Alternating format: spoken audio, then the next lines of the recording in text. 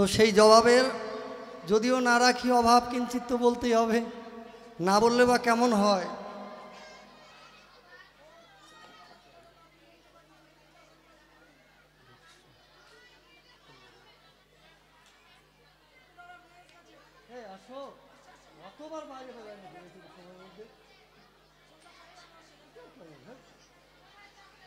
হরিবল হরিবল।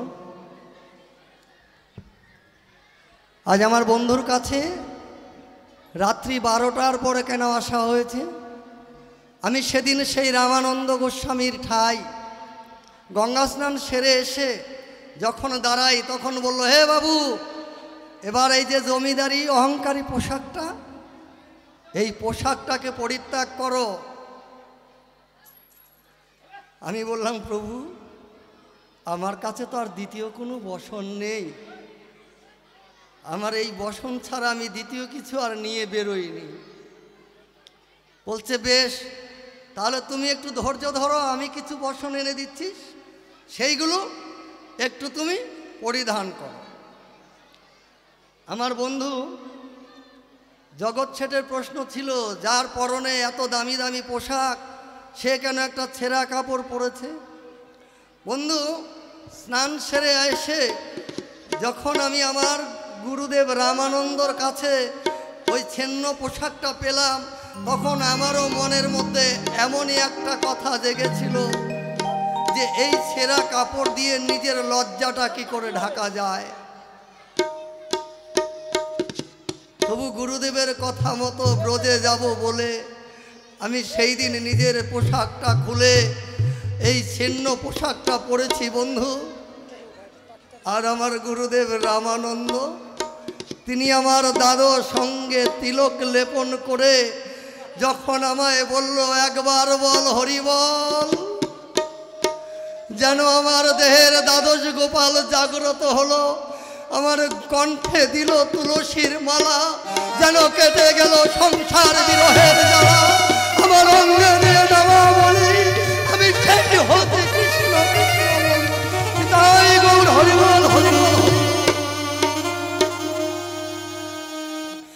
আমায় ভিক্ষা দিয়ে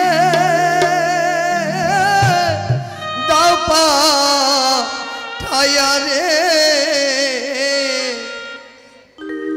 আজ আমি দেশের মানুষ, দেশে যাই।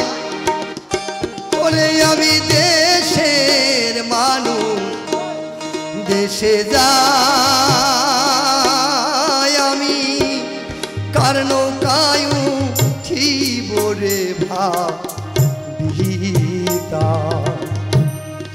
দিন গেল গেল রে বেলা।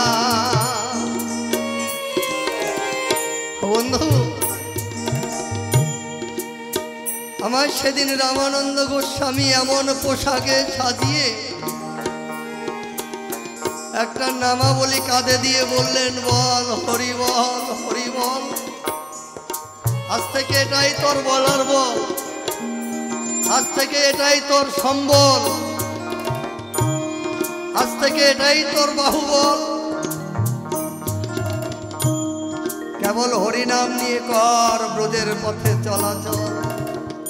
হরি বিনে আর গতি নাই গতি নাই গতি নাই।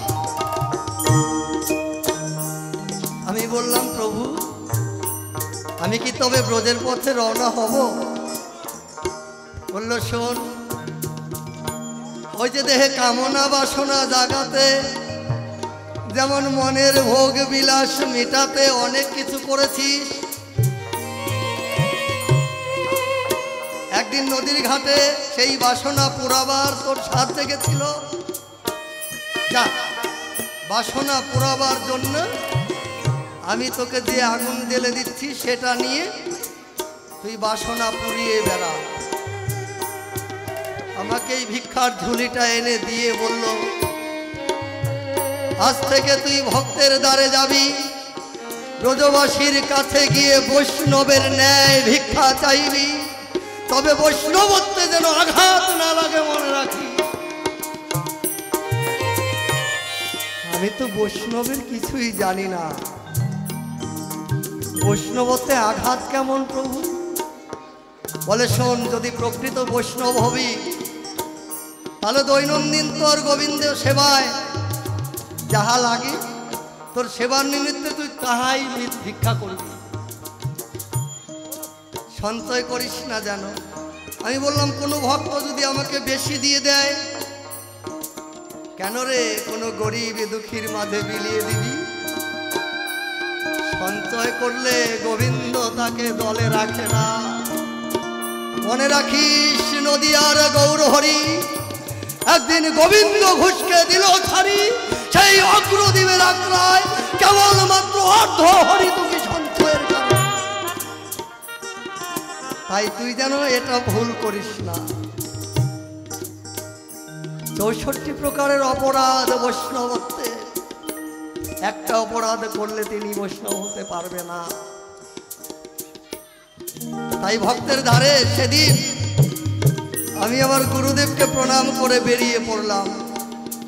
এক এক করে সমস্ত ব্রজবাসীর দ্বারে দ্বারে দীর্ঘ ছয় মাস ধরে ভিক্ষা করে। হঠাৎ একদিন মনে পড়ে গেল, আমি অনেক দিন তো মাধকিরি করলাম এবার গুরুদেবের আশ্রমে যাই। যাবার পথে দেখছি ওই জগৎ শেঠের প্রসাদ। যেই জগৎ শেঠ একদিন কলকাতার হাইকোর্টে মামলায় হেরে গিয়ে, যার রাজ্যে করেছিল ঘোষণা যদি কেউ লালাবাবুর মুন্ড কেটে দিতে পারে, এক লক্ষ টাকা পুরস্কার দেবে তারে, আমার সেই চির শত্রুর প্রসাদের সম্মুখে আমি মাথা নিচু করে আর দেরি না করে আবার সোজা ফিরে, আমি আমার গুরুদেবের সেই আশ্রমে যাই। গিয়ে বললাম, গুরুদেবের ঠাই প্রভু, আমার আমার অনেক দিন তো মাধবগিরি করা হলো, এবার কি আমি বৃন্দাবনে যেতে অনুমতি পাবো? বলতে তোকে আগেই বলেছি আত্ম অহংকার থাকিতে কেউ ব্রজের পথে অগ্রসর হতে পারে না। মান অভিমান বিসর্জন না দিলে তাকে আমার ব্রজবাসী কৃপা করে না। আমি বললাম, আমার মধ্যে মান অভিমান, অহংকার কিছু নেই। বলে, ওরে ওরে লালা, আমার সামনে মিথ্যে বলছিস? বলতো, সমস্ত নগরে ভিক্ষা করে তুই কি জগৎ ছেটের দ্বারে ভিক্ষা নিয়েছিলি। জড়িয়ে ধরলাম প্রভুর চরণ দোখানি। আমার বড় ভুল হয়েছে, কিন্তু অভিমান করে নয়। কেবল ব্রজে যাব বলে এই বাসনা আমার মনে। আমি যদি জগৎ ছেটের দ্বারে যাই, জগৎ ছেট তার কথা পূরণ করবার তোরে যে আমাকে মৃত্যুদণ্ড দেবে প্রভু। আমার আর ব্রজে যাওয়া হবে না। তাই আগে আমি একবার বৃন্দাবন যাব, পরে এসে না হয় জগৎ ছেটের কাছে ক্ষমা চেয়ে নেব। আমাকে একবার ব্রজে যাবার অনুমতি দিন বলে হবে না। যদি ব্রজে যেতে হয় তাহলে আজই তোর কঠিন পরীক্ষা। জগৎ ছেটের করে এক মুষ্টি ভিক্ষা লইবি, তবে তুই ব্রজে যাওয়ার সন্ধান পাবি। বললাম, প্রভু, এ জন্মে তো ব্রজে যাওয়া হলো না। তাই তুমি আমার গোবিন্দ, তুমি আমার সব, আমার একটা প্রণাম নাও। আমি যেন পরের জন্মে এসে ব্রজধাম দর্শন করতে পারি। কারণ জগৎ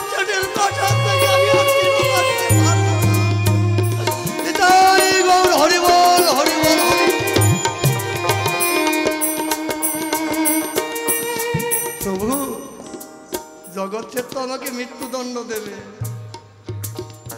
তাহলে তো আমার ব্রজে যাওয়ার স্বাদ পূর্ণ হলো না। বলে যা।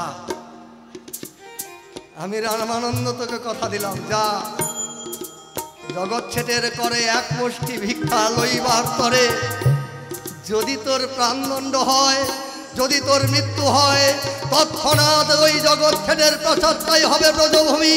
স্বয়ন ব্রজের সেই নন্দন, রাধা গোবিন্দ তোর সম্মুখে এসে দেবে দর্শন।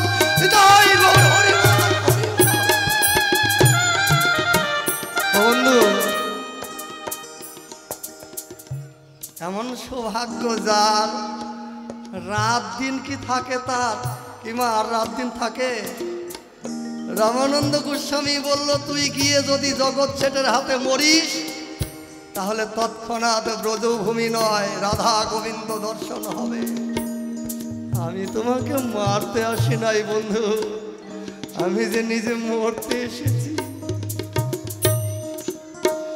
আমি কেবল তোমার চরণে মরতে পারলে ব্রজভূমি দর্শন করতে পারব। আমি আমার রাধা গোবিন্দের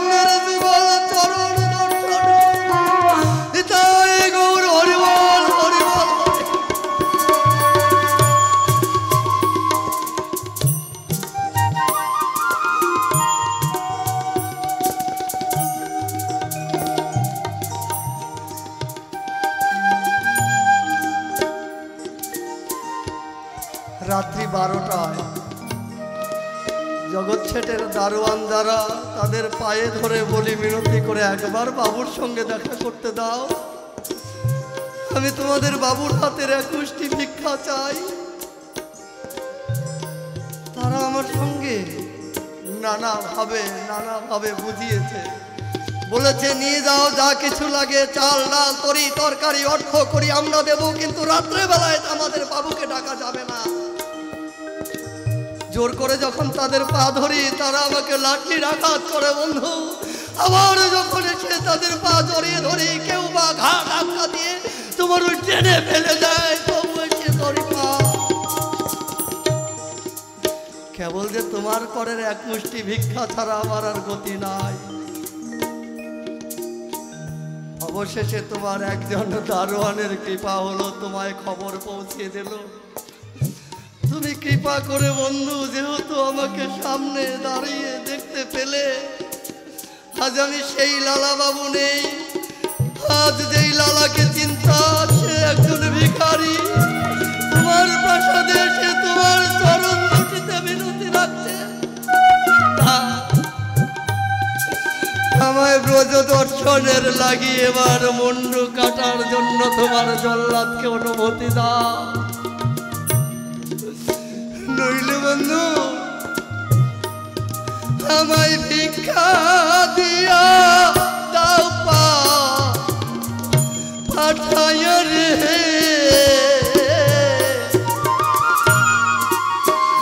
আজ আমি দেশের মানুষ, দেশে ওরে আমি দেশের মানুষ, দেশে যাই।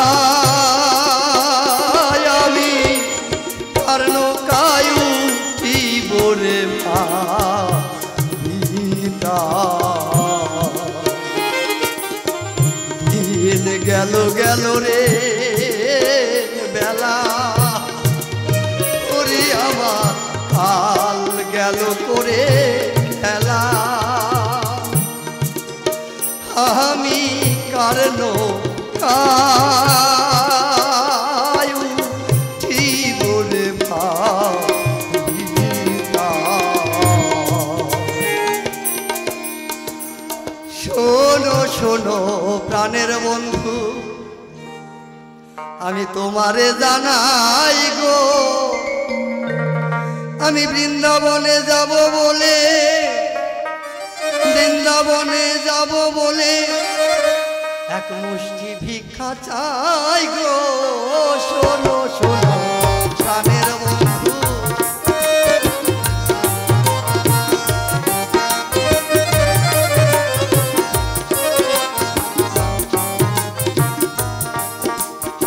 আমায় যাহা কিছু জিজ্ঞাস করিলে, আমি সকল কিছু বললাম। গতি নাই দেহ কৃষ্ণ কৃপা না করিলে। গতি নাই দেহের কৃষ্ণ কৃপা না করিলে। তাই ব্রজে যেতে চাই গো, শোনো শোনো। প্রাণের বন্ধু, তোমারে জানাই গো, শোনো শোনো। প্রাণের বন্ধু তাই গৌর, হরিবল হরিবল।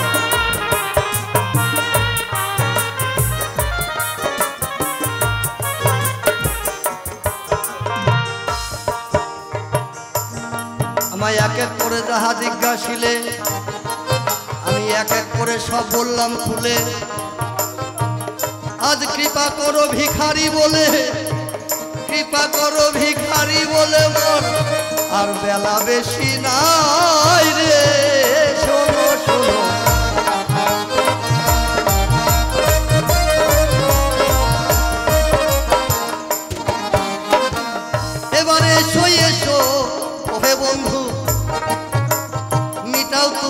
সেই মনের দ্বন্দ্ব।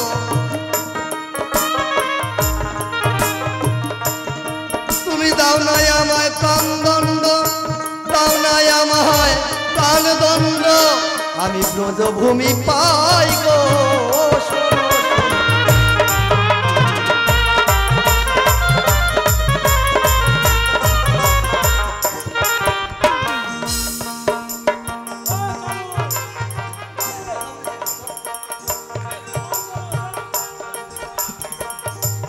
হে বন্ধু, তোমার যাহা কিছু ছিল জিজ্ঞাসা, আমি এক এক করে সব বলে করলাম খোলসা। আমি তোমায় মারতেই আসি নাই, কেবল তোমার কাছে মরতে চাই। নইলে ভিক্ষা দাওয়া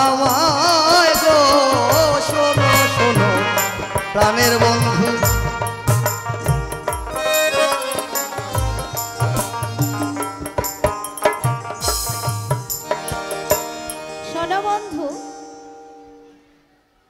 ছোটবেলা থেকে এক স্কুলে পড়েছি, একসঙ্গে খেলাধুলা করেছি, একসঙ্গে চলেছি।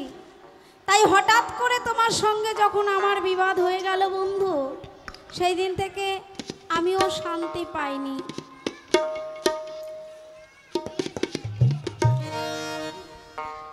শোনো শোনো, প্রাণের বন্ধু।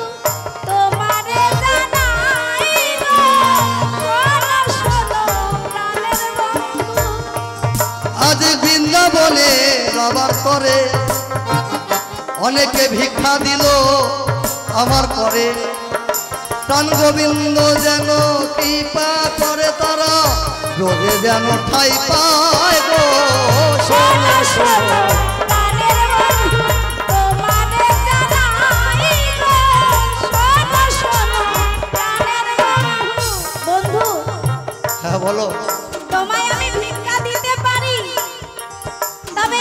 শর্ত রয়েছে।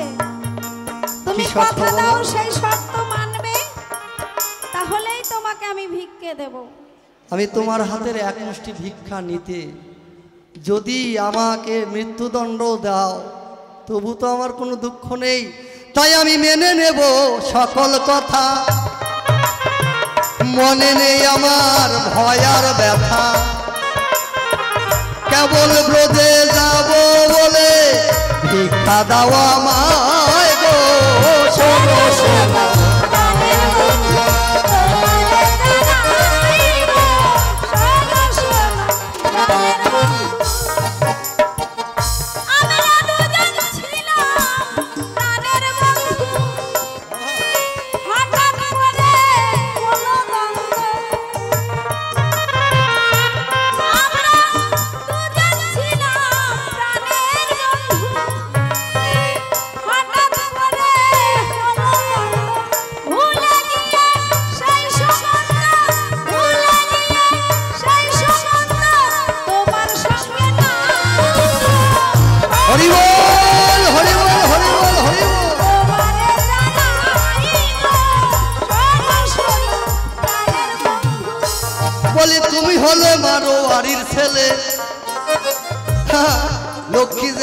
আছে তোমার মায়ের ছেলে। তবে এতই অর্থ করি ফেলে এতই অর্থ করি ফেলে বন্ধু, তুমি কেন ব্রতে যাবে গো?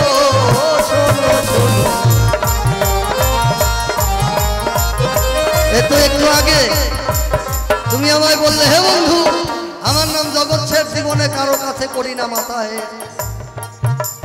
কিন্তু অর্থ করি যতই থাক না কেন একদিন তোমার এই স্বাদের স্বাদের এই দেহখানা, সমস্ত বিষয়ে বাসনা পুড়িয়ে ছাই করে চলে যেতেই হবে। তাই আমি আগে তোমার কাছে এক মুষ্টি ভিক্ষা নেব। যেই ভিক্ষাতে আমার গোবিন্দ মেলে, সেই ভিক্ষা না পেলে যে আমার জনম সার্থক হবে না।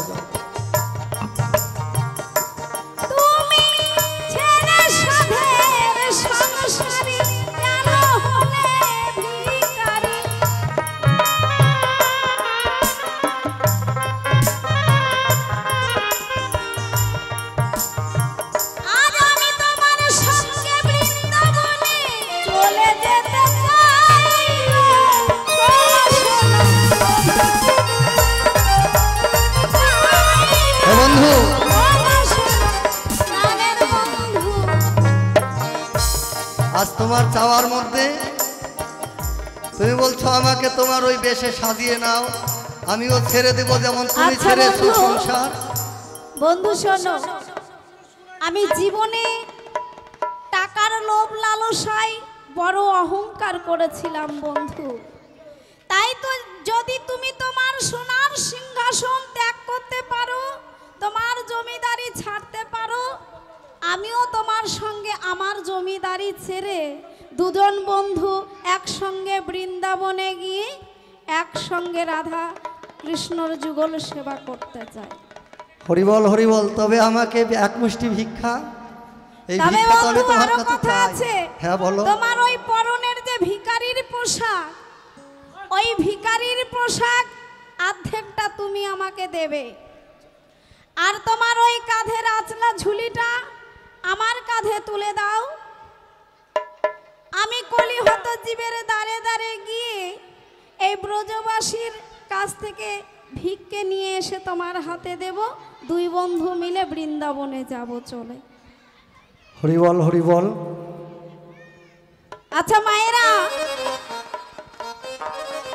আজ আমায় এমন কথা বললে বন্ধু থাকে না পন্ত আপনার মধ্যে দ্বন্দ্ব। যেন পরমাত্মার সনে হয় সম্বন্ধ পরমাত্মার সনে হয় সম্বন্ধ তাতে কৃষ্ণ গুণ গায়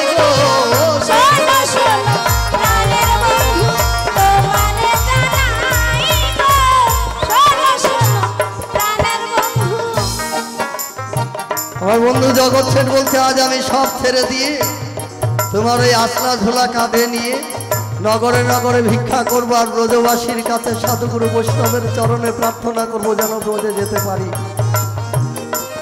তাতে তো আমার কোনো লাভ নাই বন্ধু। আমার তাতে কোনো লাভ নাই। আমার যে কেবল তোমার হাতে এক মুষ্টি ভিক্ষা চাই।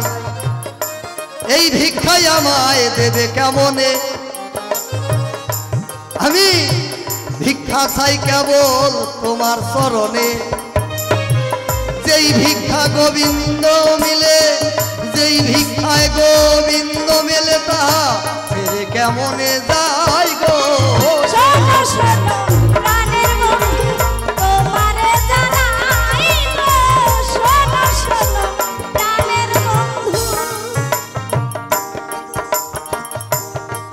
হরিবল হরিবল।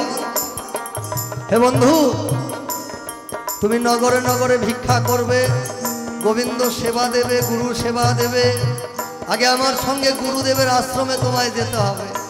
আর সেখান থেকে আমি তোমায় না হয় নিয়ে যেতে পারি। তবে আমার এক মুষ্টি ভিক্ষাটা কি হবে? ওই নগরে নগরে ভিক্ষা করবে? আমি তোমার রাজপ্রাসাদের আর কিছু নেব না। কেন? আমি তোমার ওই জমিদারির অহংকারীর অর্থ করি আর চাই না। যে জন অর্থ বিষয় তেজ্য করে। নামে নিজেকে ভাসাইতে পারে। আমি ভিক্ষা নেব সেই জগৎ ছেটের করে। ভিক্ষা দাও আমায় গো।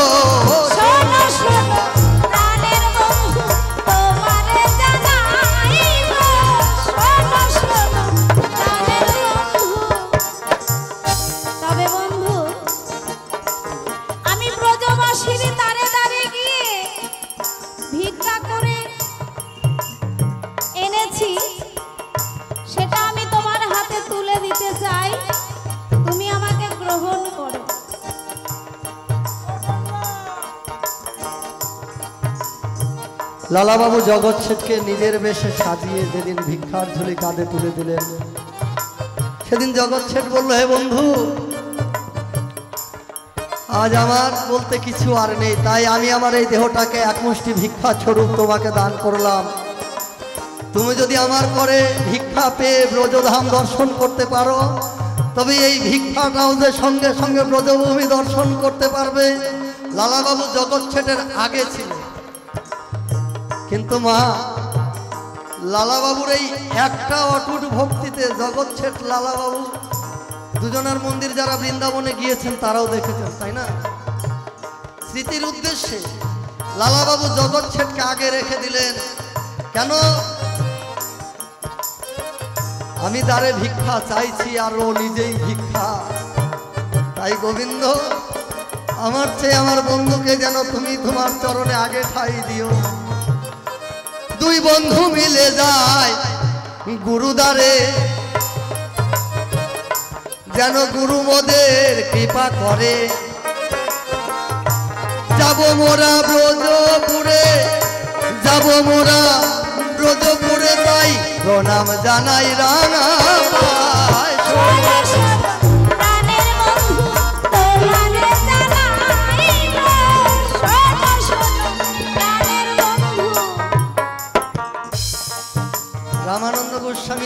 সেই আশ্রমে আবার। জগৎ ছেট এবং লালাবাবু দুইজন মিলে রাতে একসঙ্গে কৃষ্ণ কথা, হরি কথা শ্রবণ করে গুরুদেবের কাছে আশ্রয় নিয়ে লালাবাবুর আর ঘুম নেই। আজ বৃন্দাবনে যাবার সময় হয়েছে। জগৎ ছেট সবে ঘুমিয়ে পড়েছে। আর লালাবাবু সঙ্গে সঙ্গে বন্ধুকে ছেড়ে হাঁটতে শুরু করেছে। জগৎ শেঠ লালাকে বলছে, বন্ধু, আমি তো আর তোমাকে ছেড়ে নেই, তাই তুমি আমাকে ছেড়ে দিতে পারো না। তাই হয়তো তুমি আমাকে চেনো না, আমি তোমাকে চিনি না। দুদিনের এই দুনিয়ায় এসে পথের মাঝে যে পরিচয় আছে, সেই পরিচয়ের স্মৃতিটুকু নিয়ে তুমি যেন আমায় ফেলে বৃন্দাবনে যেও না। কেন? আমি যে বন্ধু, তুমি বিনে ব্রতধাম যেতে পারব না। আমি যে তোমার ওই ঝোলার এক মুষ্টি ভিক্ষা।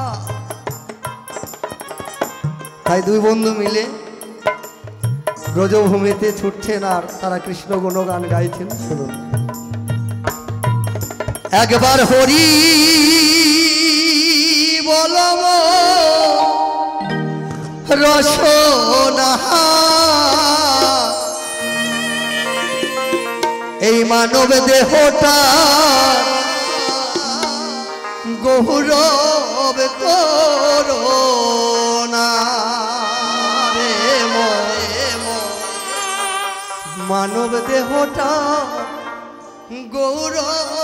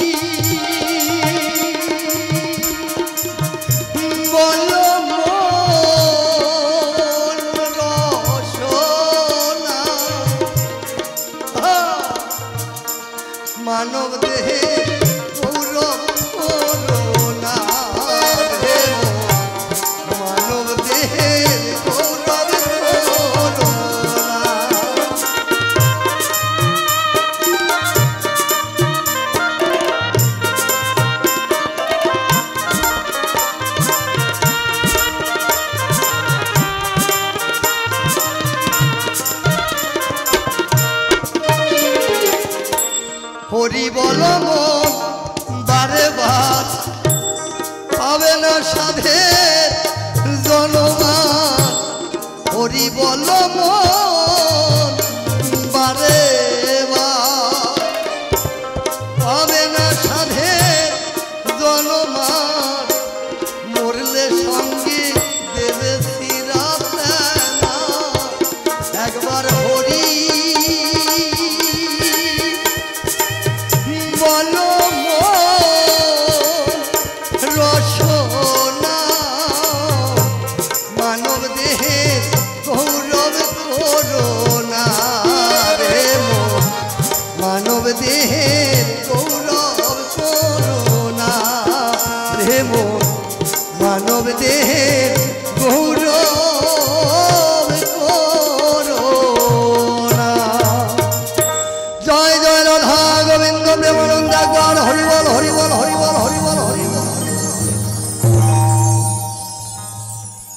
পূর্বেই শুনেছি, আমাদের পরবর্তীতেও আপনাদের আকর্ষণীয় শিল্পী রয়েছে।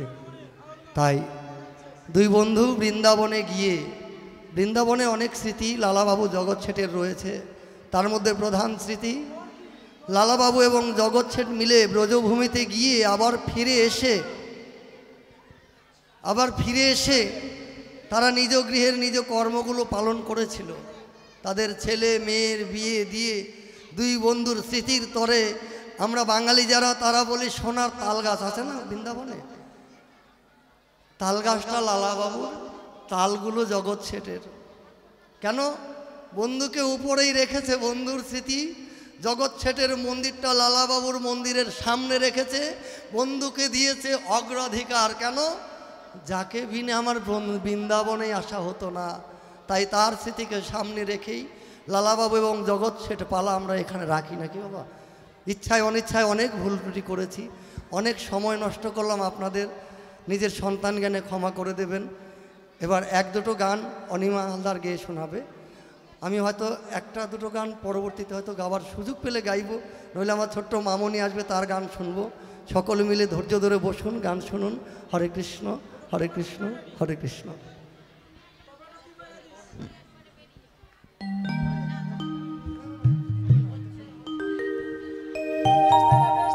আমরা অনেক অহংকার করে কথা বলি, মানুষের মনে প্রাণে ব্যথা দিয়ে কথা বলি, কিন্তু এটা ঠিক নয়।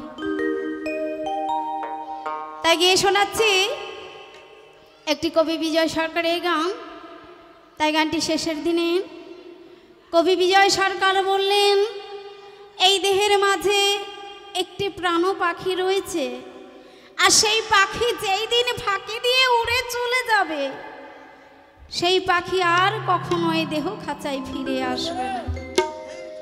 তাই সেই জায়গা দাঁড়িয়ে কবি বিজয় সরকার কি বললেন শুনুন?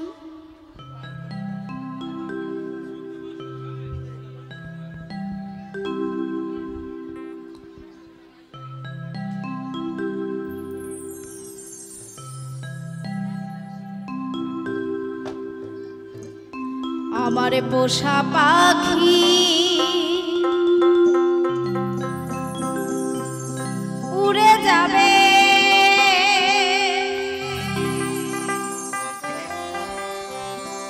জ্ঞান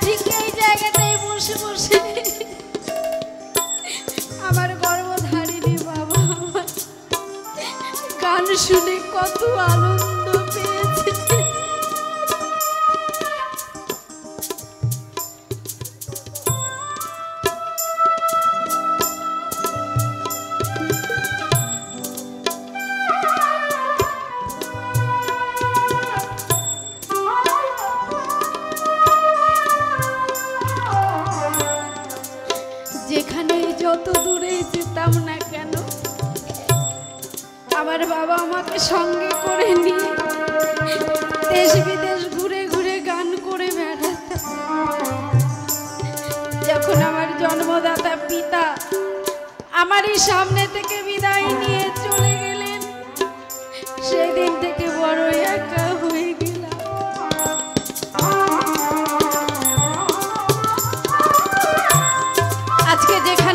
দূরে গান করতে চলে যাই না কেন? সেই বাবাকে আর কাছে পাই না, আমাকে একাই চলে যেতে হয়। কেন জানেন? এই হরি নাম, এই কৃষ্ণ নাম বড় ভালোবাসি। তাই এই হরি নামে কৃষ্ণ নামের মধ্যেও রয়েছে বড় চালা আমার ভগবান বললে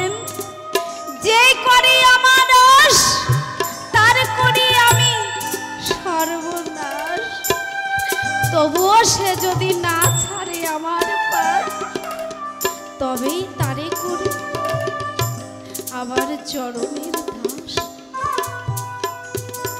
এই কৃষ্ণ নাম করতে গেলেও কলঙ্কের দাগ লাগে গায়ে। যখন গান করতে চলে যাই মা, পাড়ার লোকে আঙুল তুলে কত গঞ্জনা, লাঞ্ছনা দিয়ে কথা বলে। তবুও সহ্য